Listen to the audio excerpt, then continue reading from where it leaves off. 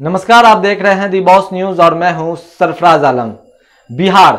बिहार में आए दिन नए नए तरीके से अपराधी जो है वो आपराधिक घटनाओं को अंजाम दे रहे हैं। कई तरह के कारनामे अपराधियों के सामने आते हैं और इसी तरह का मामला जो है राजधानी से सटे बिहटा में देखने को मिली, जहाँ दवा महल दुकान में जो तैनात सिपाही थे और उनका राइफल छीनकर जो है अपराधियों ने अंधाधुन गोली चलाया और जिसमें गोली चलने से जो है एक दुकानदार जो है वो जख्मी हो गए।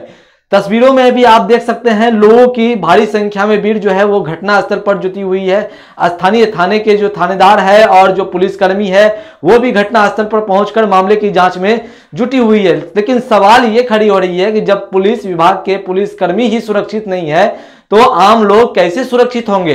बीच बाज़ार से अपराधियों का मनोबल इतना बढ़ा हुआ है कि बीच बाज़ार से भीड़ वाले जगहों से लोग अपराधी जो है आपराधिक घटनाओं को अंजाम दे रहे हैं और पुलिस विभाग देखते ही रह गए और राइफल जो है, सिपाही के हाथ से राइफल छीनकर जो है, अपराधी जो है, गोली चलाना शुरू कर दिया, जिससे एक गोली जो है, एक दुकानदार के एक दुकानदार में जाकर लगी और जिससे वो बुरी तरह जख्मी हो गए। घटना की मिली जानकारी के बाद स्थानीय थानेदार सहित कई पुलिसकर्मी मौके पर पहुंचकर मामले की जाँच में जुट गई है। हालाँकि घटना किस कारण हुई है, उसका खुलासा अब तक नहीं हो पाया है। सिर्फ़ इतना बताया जा रहा है कि जो सिपाही थे, जो सिपाही थे, वो दवा महल के दुकान में तैनात थे और उसी दौरान जो है, अज्ञात अपराधी जो है, वो आया और सिपाही के हाथ से राइफल छीनकर अंधाधुन गोली चलाना शुरू कर दिया, जिससे एक गोली जो है, एक दुकानदार को लग गई, जिससे वो बुरी तरह जख्मी हो गए। घटना के बाद जो है जो सिपाही है, वो थाने को फ़ोन किया और थाने फ़ोन करने के बाद जो है,